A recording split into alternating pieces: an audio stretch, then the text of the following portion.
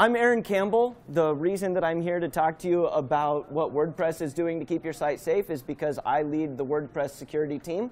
Um, so I am pretty deeply involved in the things that we're trying to do um, to secure WordPress, to keep it safe.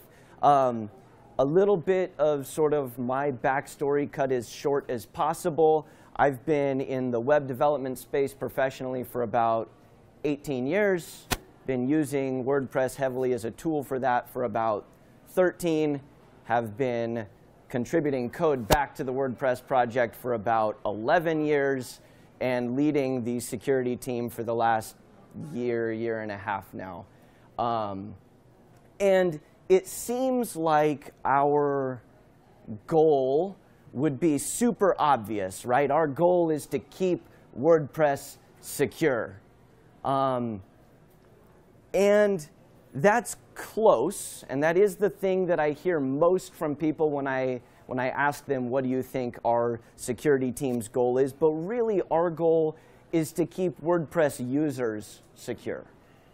And that makes our job a lot harder um, because no one just uses WordPress. Who here um, runs or uses regularly a WordPress site? There we go, hands.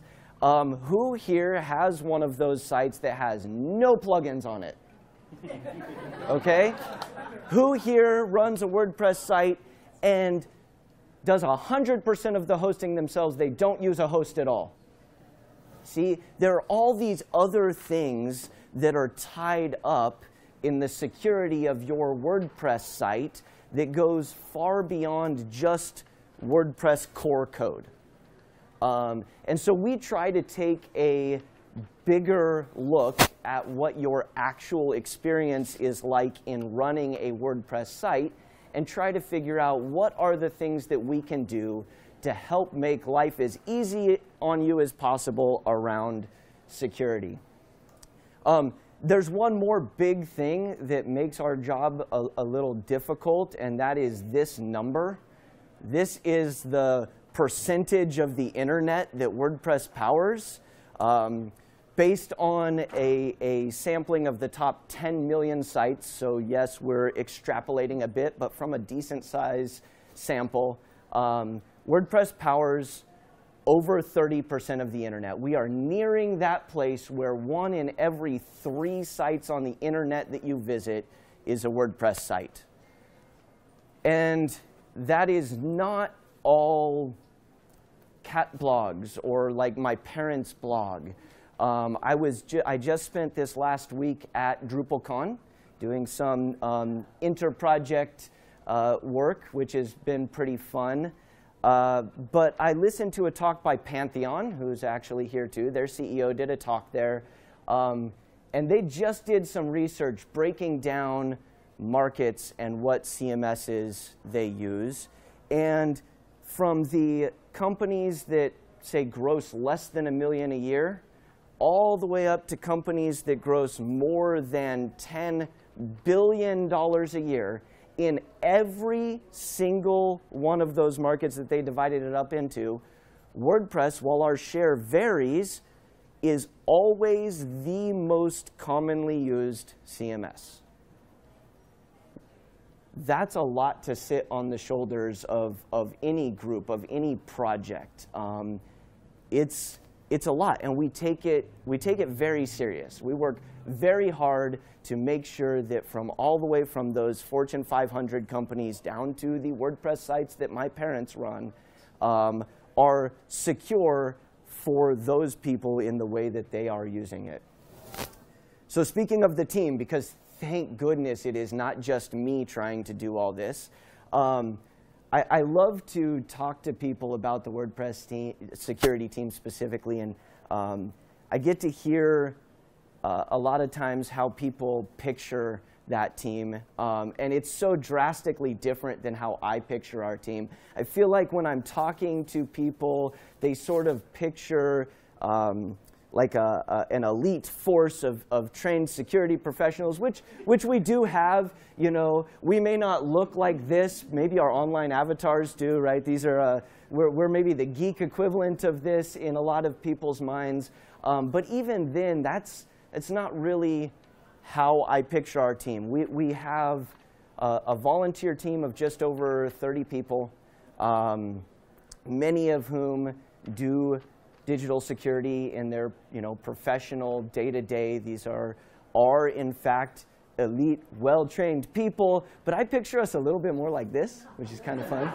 um, and that's mostly because I feel like security online, especially around WordPress, which is where I spend almost all of my time, is very much a balancing act.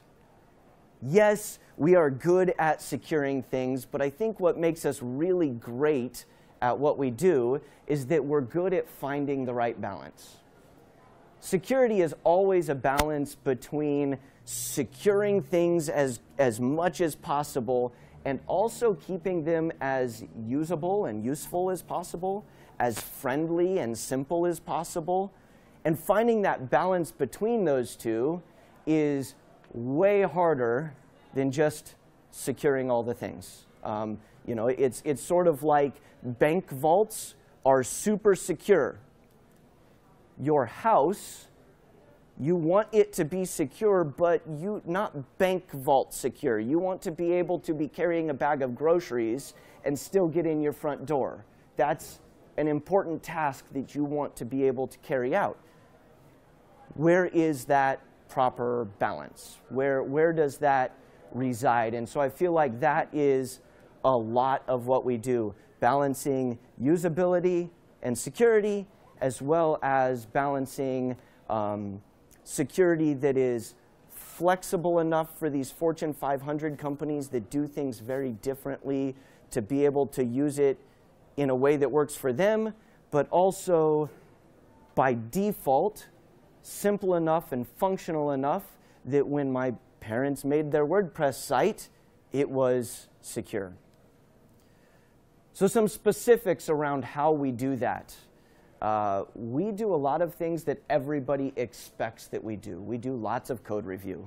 Um, WordPress is ever changing, ever growing, ever pushing forward, which is important. Um, so we are constantly looking through new code, code that's changing, um, new things that are being added. Uh, a lot of people know about Gutenberg, or you're going to learn all kinds of stuff about it today. Um, and our team is actively watching all that code as it comes in to make sure that what is currently secure stays that way, even though it's changing. Because again, there's a balance. It would be way easier to secure WordPress and even the plugin ecosphere and everything if we could just get it to hold still for a while. We could, we could get better and better at sort of building this wall of protection around it, um, but it would quickly become pointless, useless, old. No one would, no one would want WordPress anymore. Um, so we have this, this balance. Um, another thing that we do that uh, some of you may, may know about is our bug bounty program. Who knew that WordPress runs a bug bounty program? Who doesn't know what a bug bounty program is? So um, we've always, as long as the project has existed, we have let people report security vulnerabilities. That's expected, right? Um, we now have a much more efficient system for that, where not only can they report security vulnerabilities to us, but we end up paying out a cash thank you, if you will, for them doing this responsibly. When, when someone finds a security vulnerability in WordPress, we want them to tell us and let us fix it rather than publish it and let people break a bunch of WordPress sites. Um, so we incentivize that with money. We, we pay out money to say thank you for doing this responsibly and helping us keep all our tens of millions of users secure. Um, and that's all run through hackerone.com slash WordPress. Uh, HackerOne is, a, is the most popular tool for doing this right now. It's sort of um, bug bounty program as a service, if you will. Oh, and this is a relatively new um, project. We've been doing this for a little over a year. We launched a little over a year ago. Um, and we've had a lot of success with it. Um, not everything related to it is success, but there's some big ones. Uh, it really helped us increase the number of issues reported to us. It made it way easier to report security vulnerabilities to us, which I think is good. Um, we want to, we can't fix things we don't know about. And while we're still at a point where far more security vulnerabilities are found by our security team than by outside people, um, getting the help of outside people is fantastic. They bring points of view that we don't. They bring use cases that we don't. WordPress is used by so many people in so many different ways. Hearing from them is important to our success. And so this increased number, while it can, can feel um, like it might be a bad thing because we're hearing about more issues, uh, ultimately it's a good thing because we're fixing more issues as well. Um, we were able to make our reporters feel much more appreciated. It has drastically increased the, uh, the number of people that repeatedly help us find security vulnerabilities. And this is important. When you stop and think about it, your site is being secured by this team, but also it has other people all over the world actively looking for potential problems and bringing them to our attention so that we can fix them. And with these, um, you know, cash thank yous for helping us, we get these people helping us over and over and over, um, and it's been fantastic. Right now, I just checked this morning, our average bounty paid out is $350 for, for valid issues, and it, it varies. We pay out based on um, severity, which, which we calculate depending on sort of worst case scenario with the bug, um, how many people it could potentially affect, what project it's a part of because our team actually covers more than just WordPress. We cover WordPress, BuddyPress, BBPress, uh, WP CLI, which is command line tools that a lot of hosts use for uh, helping manage WordPress stuff. Um, all these things that are part of our ecosystem, as well as WordPress.org, every WordCamp site, so the WordCamp Atlanta site, if there turns out to be a security vulnerability with that, our team helps handle it, and our bug bounty program um, accepts reports for that as well. And in total, in the last year, we've paid out over $17,000 to help make sure that we are constantly getting things reported to us, um, which I think is great. Uh, people, people look at hackers, and, and, and we've made that a very um, negative term. Uh, most security researchers consider themselves hackers. They just do it for good, they like to say. Um, and so having them on our side is so, so, so much better than fighting against them.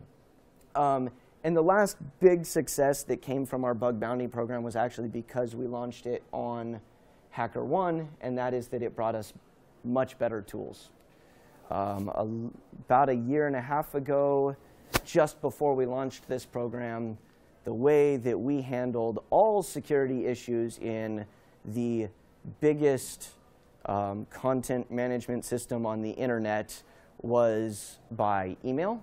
And um, people would email us an issue, and being able to communicate securely back and forth with them, um, send them potential patches that fix the issue, uh, making sure that we were understanding. All, all, that was really difficult. Email's not fantastic for that, especially when we want to keep our whole team involved and there's constantly the, I'm going to reply to this, but maybe eight other security team members are also about to reply to this and that poor person's going to get inundated re with reports or maybe we all assume that somebody else is about to reply to this and no one's going to because of that, and they're going to get no answers from us. And so it's made our communication with them much more fluid. Um, and made it much easier to track issues from start to completion.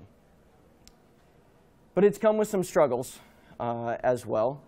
And I think that, that understanding some of the areas that we struggle in around security will help you get a, a better picture of just how active we are and how much we're doing. Um, over the lifetime of this program, only about 13.4% of reported issues are valid issues, um, which is obviously a struggle, especially with a volunteer team that is volunteering their time. Some of them may get some hours paid by employers, but, but by and large, the vast majority is, is volunteer.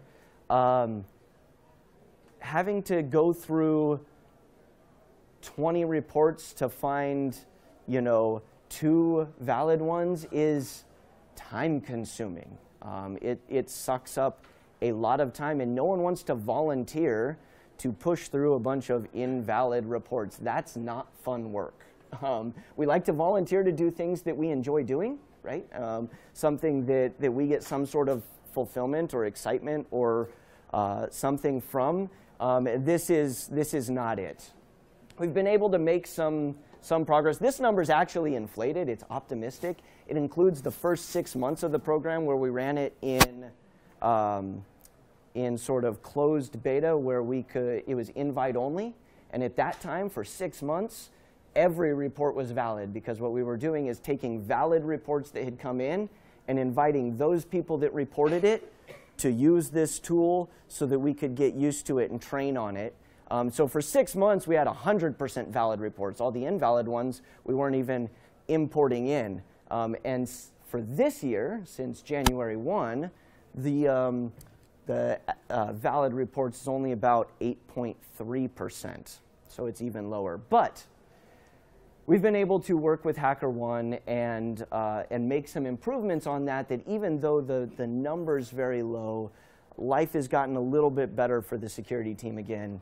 Um, we helped them pilot a program, and now they've released it called Human Augmented Signal, I think is what they're calling it. Uh, basically, our first line of defense is some automated tools. If you report an issue that says um, there's cross-site scripting in WordPress, we pop up a thing saying, were you an, ad an administrator for the WordPress site when you tested this? Because administrators are trusted. They're allowed to put JavaScript in posts. And if you can put JavaScript in posts, you can purposely cause cross-site scripting, but we, we trust those users. That's acceptable. Again, balance of usability versus security. A lot of you, I'm sure, have found the need to use JavaScript at times in your posts or pages or whatever. Um, and so that's necessary. So our first line of defense is those automated things that say, hey, here's some more information. Make sure that this is actually an issue. But our second line of defense now is not the security team anymore, which is fantastic. It's a team at HackerOne that looks through the issues and filters out the obvious invalid ones, the ones that are terribly reported, the ones that um, have been tested with automated tools but didn't have any person actually verify the issue because we use all those automated tools too. We do very consistent regular scans of WordPress, even plugins in the plugin repository.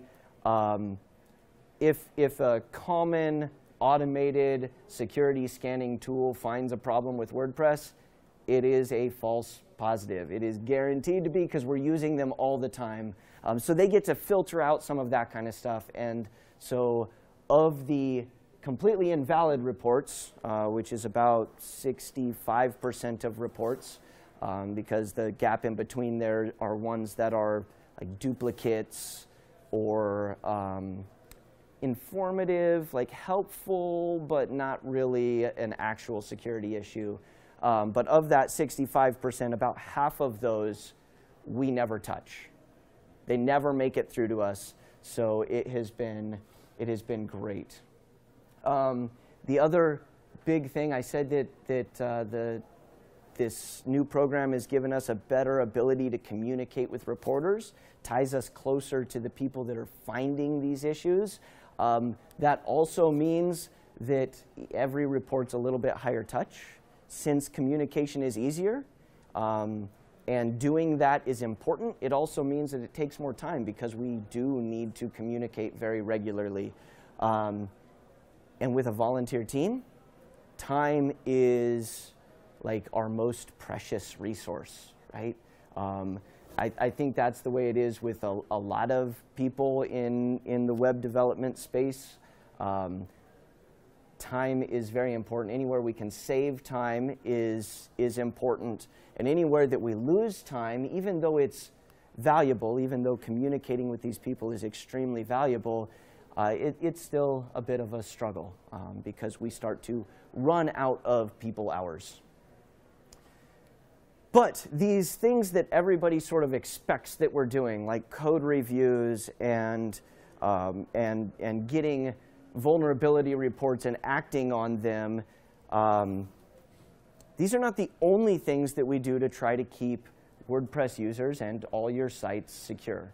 Uh, one of the biggest, most effective things that I think we do um, is build relationships with several big groups of people. First of all, plugin developers, right? I said that no one runs WordPress without plugins. That was pretty well confirmed by the fact that no one here said that they ran WordPress without plugins. Um, and so staying connected to plugin developers and what's going on there helps us keep everyone secure. Um, this means keeping close contact with the actual code that's in our plugin directory, which is a pretty good sampling, although not every plugin is hosted in our plugin directory. But also building relationships with the um, biggest, most prolific, or most complex plugins in our marketplace so that we can talk to them when we need to. Um, we actually have a, a private security team channel on Slack that we use for a lot of communication. And we have another security plugins group, uh, room that's also private and uh, but it's a place for us to talk about security vulnerabilities with plugin developers that can help be our canary in the coal mine, if you will. People that can test our patches so that when we roll out a security fix, you don't have to worry whether it's going to break your site. Because testing to make sure we don't break WordPress core is easy comparatively. We've put a lot of time and effort into building all these um, uh, tests that, that we can run to make sure we're not breaking our own stuff. But plugin developers and the companies behind them, they have their own test suites that they can run to make sure it's not affecting their plugin. Um, and we want them to do that, especially the really big ones like, uh, like Yoast SEO and, and, and Jetpack and WooCommerce, these ones that are on millions and millions of sites. I'm sure at least a, a, hefty number of you are running one or possibly all of those. Um, and so we want to make sure that, that we, don't, we don't break your site. And so building this relationship has helped us get better and better at securing your site without breaking it, because that's important. Other CMSs, I, I, I, mentioned that I spent all week at DrupalCon. Um, it's been fantastic to see how many of the problems that we're trying to solve are also trying to be solved by other content management systems. Um, we are the biggest, and so most people are looking to us, but that doesn't mean that we can't learn from them. And it's been great to work closer with them in solving those problems and in identifying potential issues that affect all of us. Um, if, if there's a problem in PHP, and that's what's actually causing the security issue, and someone reports it to Drupal, and Drupal fixes it, we want to coordinate if it also affects us. We don't want them to release before we release, because then the, the, the, the bad people, the threat actors, are going to say, oh, I see how that exploit works. Let's see if we can break a bunch of WordPress sites. We'd rather coordinate and work together, and so we've been doing more and more of that to ensure that vulnerabilities don't end up out in the wild before we've already fixed them. Which is also the focus of our relationships with hosts, which we have built more and more. Wow, what is showing on the screen is different than what's showing on my screen. That's fun. Other CMSs is down there, and on mine it's up at the top. I must have two different versions of my slideshow running. That's fantastic. Um, hosts and WAFs. Uh, WAFs are web application firewalls. These, um, these groups get a really different view of what's going on on the web than WordPress does. Um, in, in the WordPress code that we can sort of control and, and work on, each individual site gets sort of a picture of what's happening to it. But hosts and these, these firewalls get a picture of what's happening across potentially millions of sites. And so it's given us a much better view of what's going on. And also, by building these relationships with them, we've been able to start protecting WordPress sites and WordPress users in a place that we've never been able to before at the network layer. We can't usually, before in the past, we couldn't protect a thing until it hit WordPress.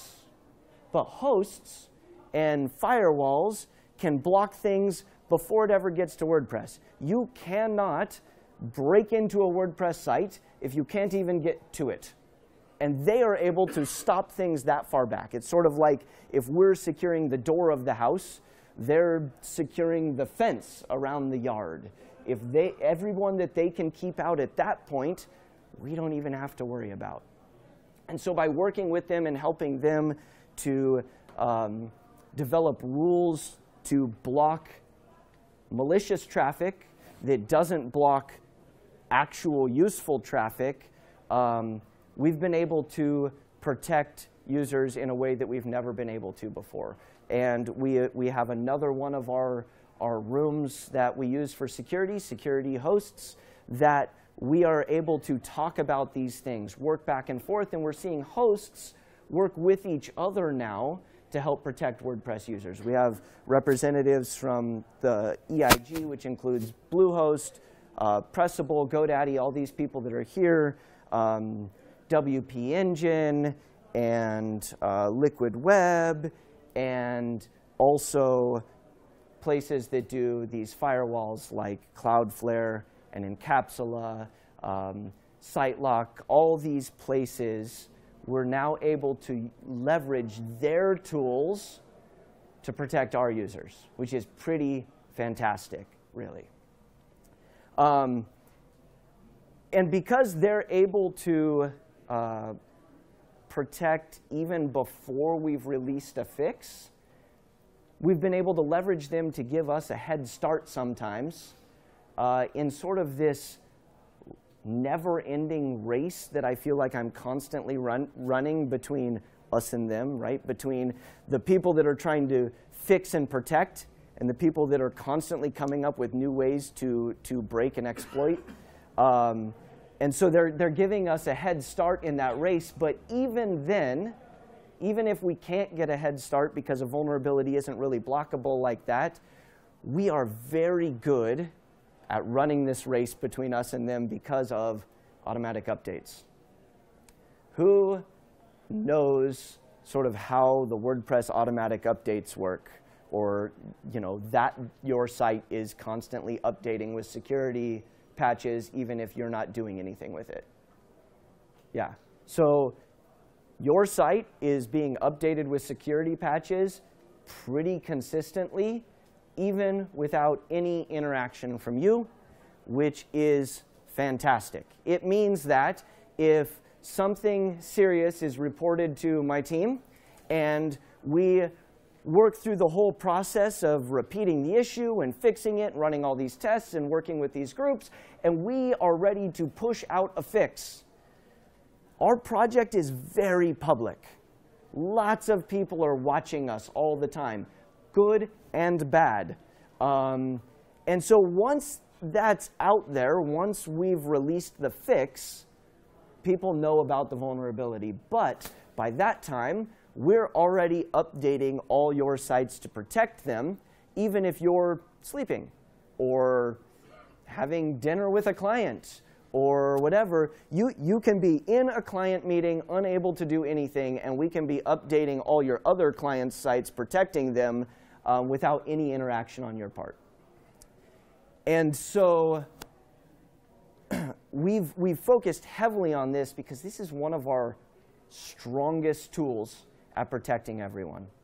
Like I said, as soon as stuff is out there in public, um, people are going to try to exploit it.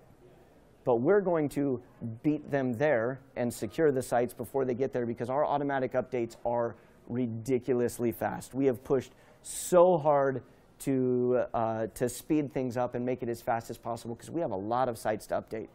Tens of millions of WordPress sites to update every time. Um, but even for a, a, sort of normal release that's not OMG, the world is burning down, just, just a normal release, um, we're updating tens of thousands of sites uh, a minute.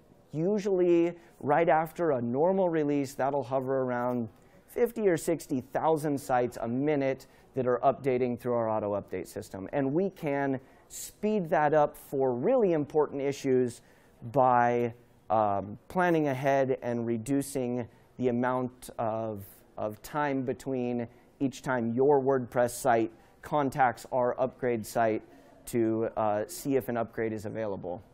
Uh, so we can actually, this is if we're trying to roll out updates over, say, a, a 12 to 24 hour period, but we can roll out updates over a one to two hour period.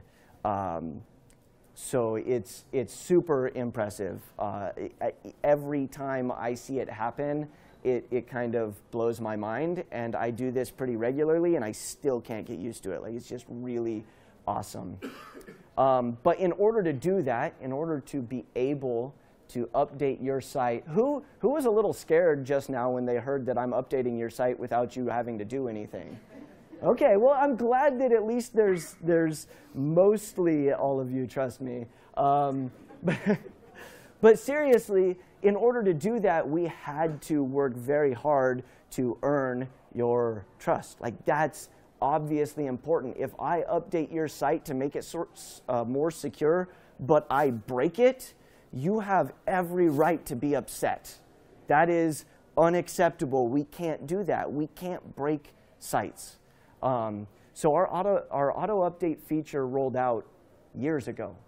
This has been in WordPress core for about four years now. Um, it took us a very long time just to get it right to put it in at the very beginning. Um, but since then, we have continued to improve upon it very regularly. Um, the success rate for auto updates is more than 99.9%. Um, but the failure rate is actually less than 0.001%. And the, the difference between those is because we have soft failures where something may have gone wrong but the update was able to roll back to exactly where it was, and we'll try again. And so um, only 0.001% have problems with our automatic updates, and that tells me, straight up through the numbers, tells me that you are far more likely to have your site break because it was hacked because it wasn't updated than you are to have it break because we updated it, like, like by several orders of magnitude. Um, so that is something that we are super, super proud of. Now, whenever I do these talks, I know that everybody is worried about security. Like, this is a thing we're all concerned about with our sites. Um, and I know that I give sort of a bit of a picture of what we're doing, but I try to leave lots of time to talk about whatever it is that you are specifically interested in around security. So that's what I'd like to do now is some Q&A. Um, again, I'm Aaron Campbell. My Twitter handle's up there, so the slides will be tweeted out momentarily um, for anybody that wants any of those. But I would love to take some questions.